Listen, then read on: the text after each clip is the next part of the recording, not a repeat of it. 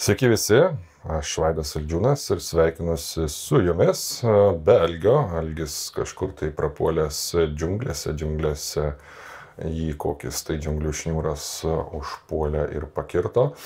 Aš sveikinuosi šį kartą ne iš namų, ne iš, negaliu kol kas dar iš Algio studijos bet iš savo darbo, iš Delfi studijos, na, iš Delfi studijos, čia taip skamba, ne, čia ne Delfi studija, iš tikrųjų Delfi kambarėlis, ne jokia paslaptis, kad aš dirbu Delfyje ir rašau, tai dėl dviejų priežasčių. Iš čia įrašinėjau šį podcastą.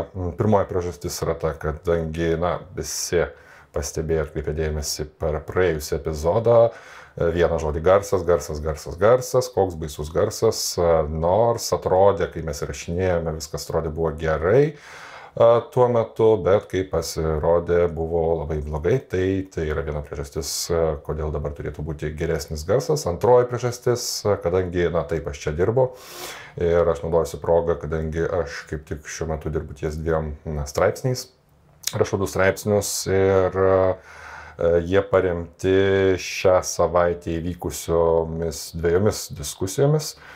Ir e, norėčiau tik jas šiek tiek aptarti. E, tos diskusijos vyko off-record formatu, todėl negalima identifikuoti nei žmonių, nei vietos, kuris vyko niekada tokio labai slapto, bet vis dėlto tai buvo na, uh, Kol kas dar e, ne visai taip e, viešinimui atvirai e, tas turinys, ypač vienos iš diskusijų, kol kas apie ją tik tai taip na, labai abstrakčiai galėsiu užsiminti.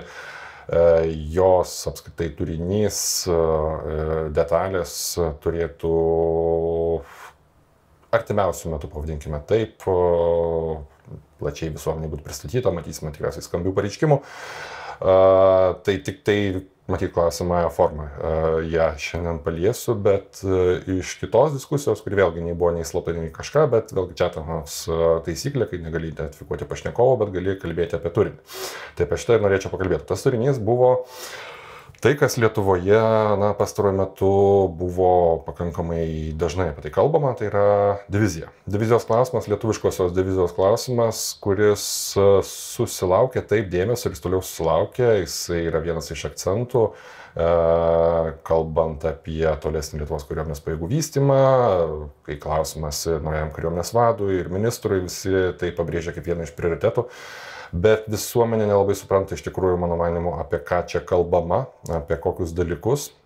Ir labai dažnai nukreipiamas dėmesys į šalutinius ir tokius, na, e, taktinius dalykus arba, paprastai kalbant, įsigijimus. E, tai e, vieni kalba apie tankų batalioną, kiti kalba apie oro gynybą, kad tai yra svarbiausi elementai divizijai. Bet pats klausimas divizijos, man atrodo, yra pakankamai dar neaiškus, nesuvoktas visuomenės. Ir kodėl jis yra svarbus, kodėl aš apie šitą kalbu, ne tik tai to, kad buvo ta diskusija iššaukta su labai, gerai, labai gerais klausimais, atsakymų būta tiesą pasakius, mano manimu, bent jau kol kas pakankamai neįtikinančių, keliančių nerimą ir būtent todėl aš apie tai šiandien ir pakalbėsiu. Visų pirma, apie diviziją. Kam to reikia, kas tai ir kokie gali būti pavyzdžiai. Tai viešo erdvėje, aišku, yra žinoma, tie skaičiai yra daugiau mažiau pateikti, kad mes einame į kažkokį tai hybridą Frankensteiną, kaip kalba kritikai. Arba nebūtinai kritikai, bet, bet turintys kritiškų pastabų, sako, čia lengvoji, čia vidutinė divizija, kažkaip per nesąmonę. Lengvoji divizija pėsninkų su tankų bataljonu išskiriant būtent e, šitą pajėgumą. E, kiti klausia vis dėlto, kam to reikia, jeigu karas, e, vis laiką pabrėžia karą Ukrainoje ir kai karas vyksta brigadų lygyje, formaliai žiūrint, o realiai visą veiksmą atlieka batalionai, kuopos, būriai skyriai ir ten vyksta visa kova. Tai atsiriboja, ne tik atsiriboja nuo šitų metų, bet uh, šiek tiek atsitraukiant nuo jų.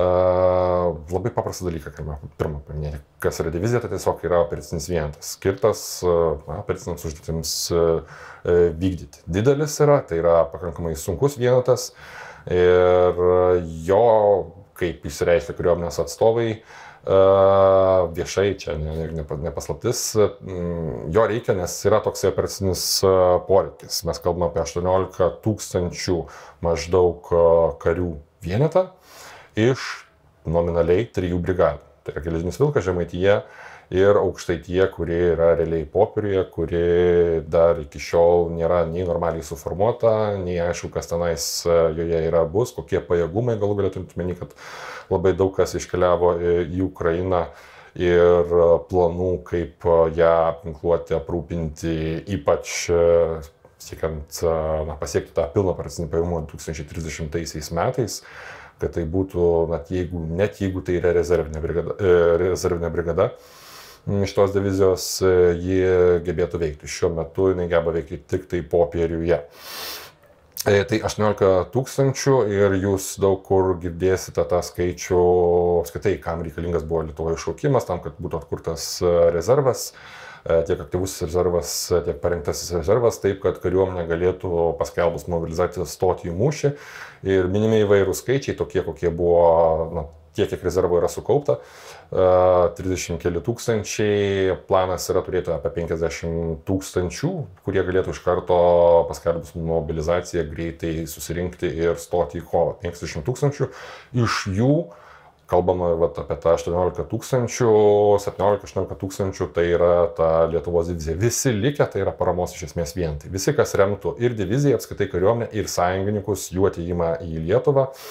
Ir tai yra mm, natūralu, nes vienai divizijai vis tiek reikia įvairiausios paramos, tas funkcijas, kurį jinai vykdo, e, jų negali vykdyti kiti daliniai, tai tie daliniai turėtų kitas funkcijas vykdyti, ar tai būtų apsauga, ar tai būtų veikla komendatūrose, ar tai būtų nuostolio atstatymas galų galę, nes e, mes matome, kad karuose nuostolio atstatymas yra labai e, svarbus dalykas, neišvengiamas, apie tai šiek tiek vėliau. E, Lietuva nėra šiuo atveju unikali. Kai kalbama, kad mums reikia divizijos, kad kuriama divizija, tai jinai, tokie vienetai yra kuriami aplinkui mus visur, arba jie yra sukurti. Na, jeigu žiūrime, mėgstame lyginti su Latvijais estais, tai jie lygiai taip pat šitais projektais užsiema, Latvijai gerokai atsilieka vėluoja. Tai yra klasikinė Latvijos problema, o estai, kai visada stengiasi būti priekyje, jie sako, kad jie yra sukūrę diviziją ir turi pajėgumus, dalis tų pajėgumų yra rezerviniai Tai yra labai svarbu, kadangi turi manevrinius vienetus, paramos vienetus, tai yra logistikos batalionai, tai yra artilerijos batalionai. E, vienas iš artilerijos batalionų, jisai apskaitai yra priskirtas e, divizijos e, lygio kaip pajėgumas, kaip atskiras, tai yra ne manevrinėms, ne brigadoms priskirtas, bet kaip atskiras elementas. Kartu tikėtina bus priskirti ir estiškiai Haimarsai, tiek Lietuva, tiek Latvija, Estija nepaslaptis perka Haimarsų, Lietuva perka jų daugiau. Bet čia yra pajėgumų, nenoriu dabar smulkintis ties jais, tai vėlgi estai paskelbė, kad turi tą diviziją, integruoja esamas pajėgas ir kadangi jų kariuomenė apskritai paremta daugiau rezervinių principų, ir jie susimobilizuoja ir jie turi uh, E, teoriškai e, popieriuje ir tiek, kiek jie pratybose atidirbinėja, štai jie turi savo tą diviziją pasirengusią kovą. Kokia jinai yra, e, jam kol kas bent jau nereikia tankų, jie nežiūri į tankų jokius batalionus, jie turi lengvąją diviziją, taip kaip jie savo aplinkoje pasiruošę kautis kartu su sąjungininkais, tas irgi yra labai svarbu. Švedai kuria diviziją, Lenkai turi divizijas, Suomija yra šiek tiek kitas atvejis. Bet e, dar galbūt e, pabrėžiant, e, kam to reikia, Lietuva netgi buvo, man atrodo, tokių na, pavalatkinimų, kam čia iš viso to reikia. Suprask vos ne, kad čia generolų kažkokia tai užgaida, turėti žaislus, na, blogiausiu atveju iš ten jau visiško užribio, kas šneka absoliučius vėjus, tai yra pinigų plovimas. Na, okei, okay, tai į šituos netgi nežiūrim, bet kalbant apie pačią, paties divizijos poreikį, tai, ką, karime sako, tai yra opericinis poreikis, tam, kad šitas dalinys, apskritai Lietuvos kariuomenė, Lietuvos kariuomenės daliniai, batalionai, manevriniai vienetai, brigados galų gale galėtų veikti didesnių pajėgų sudėtyje ir kad galėtų veikti kartu su sąjungais. Kai dažnai kalbame, mes veiksime iš vien su sąjungininkais, ar tuo abejojama, ar tam pritariama. Visą laiką reikia suprasti, koks yra na, praktinis šito pasakymo momentas. O praktinis momentas yra labai paprastas, kad jeigu tu nori veikti korpuso sudėtyje, Lietuva yra priskirta šiaurės rytų korpusui ir tas Multinational Corp Northeast. Jeigu jinai nori, kad Lietuvos kariuomenės daliniai būtų pavaldus, bet ir veiktų nepriklausomai pagal savo prisinį planą, pagal savo prisinius poreikius, tam reikia turėti didesnį vienetą, kuris vienas dalykas gebėtų užsimti vadovavimo ir kontrolės funkcijomis efektyviai. Tai yra ne pavieniams brigadoms kažkas tai veiksmus komandas duotų, bet ir kad jisai gebėtų savo turimus įgalintojus vadinamuosius, tos enablerius, panaudoti pagal savo poreikius. Ir kai kariuomenės vadas, dabar jau nueinantis kariuomenės vadas, užsiminė apie tai, kad mums reikia, mes, mes norime tapti turėti pilną vertę diviziją ir ne kažkokias paramos funkcijas atlikti, tai vėlgi yra ne kažkokia tai asmeninė žmogaus užgaita ar net kažkokių tai karininkų užgaidos, kad jie nenori uh, būti šeštukais ar nenori būti trečiailiais, ketvirtailiais, kurie saugotų bazės tik tai ir panašiai e, kad čia yra tiesiog kažkoks tai žaidimas, bet mes kalbame apie Lietuvos teritoriją, kur efektyviai galima būtų uh, Mm, gintis, o norint e, gintis, reikia vykdyti operacijas, reikia vykdyti operacijas ne tik tai stabdant priešą kontaktų liniją, bet ir vykdyti gilumą. Tam ir yra visi divizijos elementai, būtent tam ir yra mm, įgalintai. Tai kai mes viešoje erdvėje kapojomės ir kalbėjome daug ir tebe kalbame ir dar toliau bus kalbame apie mm, tiesiog priemonės, pačio paties vieneto priemonės, ar tai būtų tankai, ar tai būtų oro gynyba, kad čia mums reikia to, ano. Uh, iš tikrųjų, akcentai turėtų būti gerokai plačiau žiūrima į juos, kalbant apie įgalintus. Tos priemonės, kaip tu, juos, kaip tu jas įgalini, kaip tu jas pasilki, kokius efektus norima sukurti. Čia yra uh, tas terminas efektų kūrimas, uh, atėjęs aišku iš vakarietiškos karo minties mokyklos, uh, norint sukurti ar ugnies katilą, arba norint smogti gilumoje priešui, arba jį vilioti į spastus ir manevriniais vėlgi vienetais jį sunaikinti. Tam reikia turėti visą sistemą įgalintojų, tai kas yra ne tik tai patys manevriniai, ar tai būtų pėsninkovos mašina, tai tankai, ne tik tai tie įgalintojai, kurie veikia gilumoje, ar tai būtų artilerijos batalionai, ar tai būtų HIMARS baterijos. Ir tai nėra vien tik tai oro gynyba, tiek organinė oro gynyba, kuri dengia tos manevrinius vienetus, e, saugo, bet ir visa kita. O visa kita tai yra ir logistika, visa tai, kas yra labai svarbu uh, pačiai divizijai. Ir ne tik divizijai, bet kuriam vienetui, iš tikrųjų logistika yra natūraliai svarbu. Bet tai yra ir žvalgyba. E, norint sukurti tuos efektus, e, reikia turėti akis, ausis, e, gebėjimus ir visą tai praktikuoti, visą tai žinoti, kaip reikės. Viena yra įsigyti daiktą, visą kitą mokėti jo naudotis ir turėti pakeitimus. Tai šiek tiek vėliau.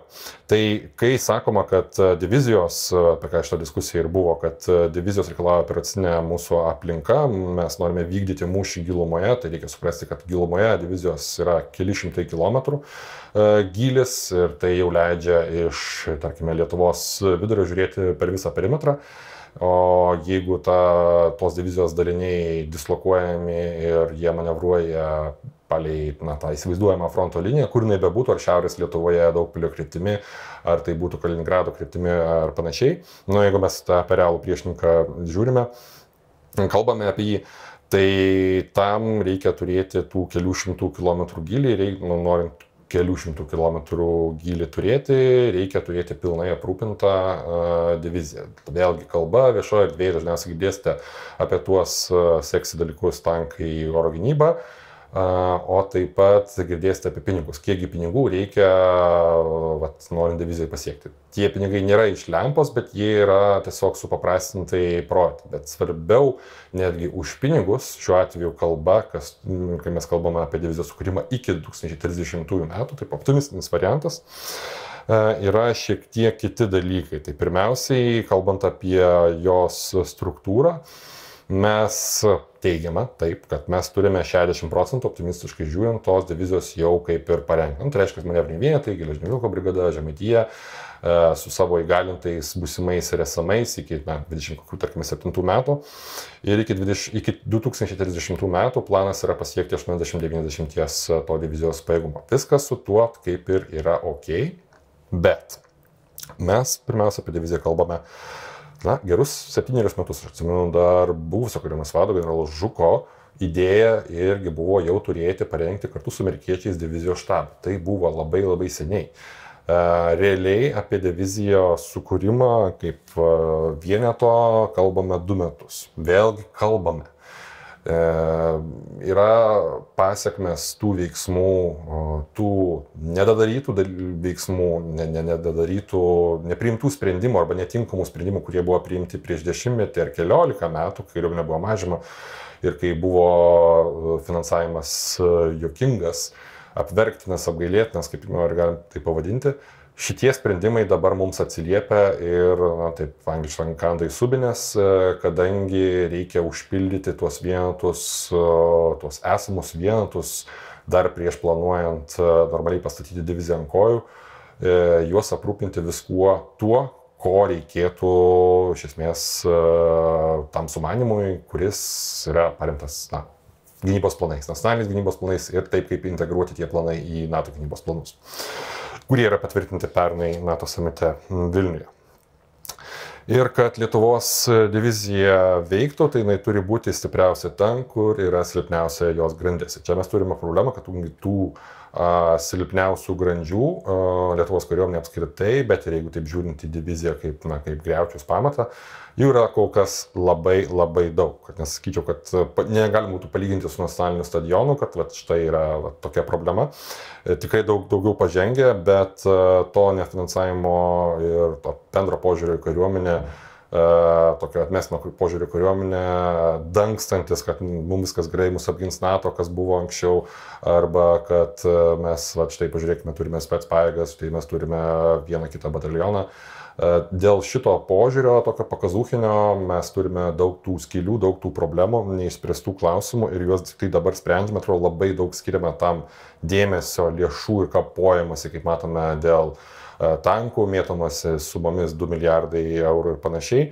Bet e, iš tikrųjų yra daug paprastesnių dalykų, nekalbant apie tuos dalykus, kuriuos yra kalbėję, apie kuriuos yra minėję na, ir eiliniai kariai, ir ir, ir, ir, ir puskarininkiai, ir netgi atsargos karininkai apie tai, kaip daliniams trūksta ar tai naktinio matymo prietaisų, ar tai prieštankinės ginkluotės ir panašiai.